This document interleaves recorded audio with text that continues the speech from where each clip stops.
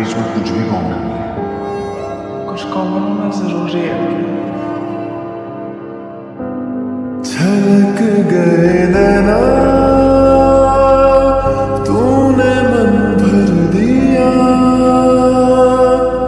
मेरे खाली से दिल को तूने घर कर दिया